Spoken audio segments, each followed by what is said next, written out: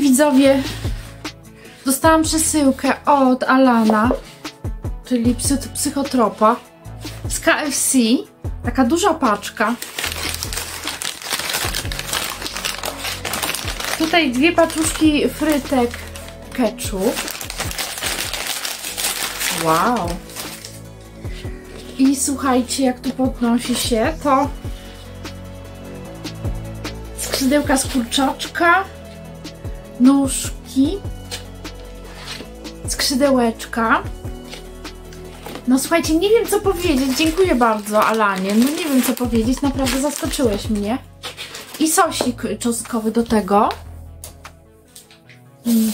Bardzo dziękuję. Nie będę teraz jakoś długo nagrywać, bo sobie to zjem.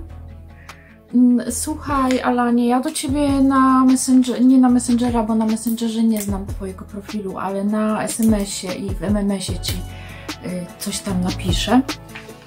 Dziękuję bardzo. No jestem zaskoczona troszeczkę to w ogóle rozwojem sytuacji, dlatego że nie spodziewałam się, że y, tak zareagujesz, ale w każdym razie miło y, z strony, że mi przysłałeś jedzenie, bo ja skłamałam, że mam dzisiaj jakiś obiad, bo nie chciałam ci robić y, jakiegoś problemu, bo pisałeś, czy coś mi przysłać, napisałam, że dziękuję, mam obiadek. A nic nie mam, musiałabym się zastanowić, co sobie zjeść. Za chwilę chcę iść właśnie na, na skałki, na spacerek. To rzeczywiście ze smakiem sobie to zjem, popiję soczkiem